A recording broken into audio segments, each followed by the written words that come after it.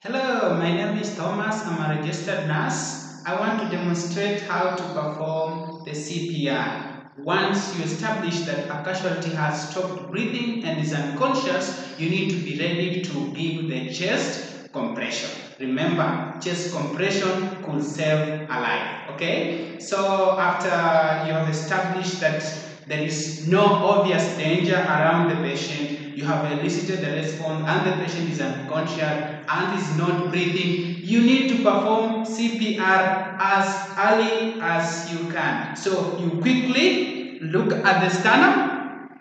So when looking at the sternum, you need to you need to divide it into thirds and you grab the lower third using the non-dominant hand, cover it with the dominant hand Remember the dominant one hand is the one that is going to apply more pressure. Okay? And the arm should be straight. Then you should be ready to give the chest compressions. Okay? The chest compression should be at a rate of 100 to 120 compressions per minute and a depth of 5 but you should not exceed 6 centimeters deep. Okay? So let's go guys. You can count with me.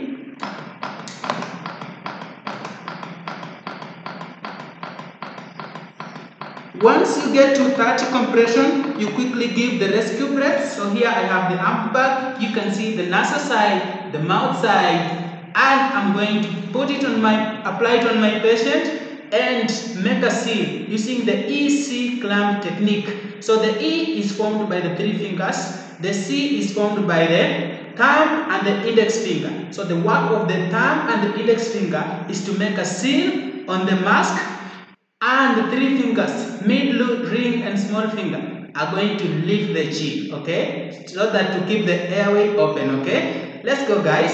So this way and this way, okay? So in this case, I'm going to give the rescue breath. So you can count with me now.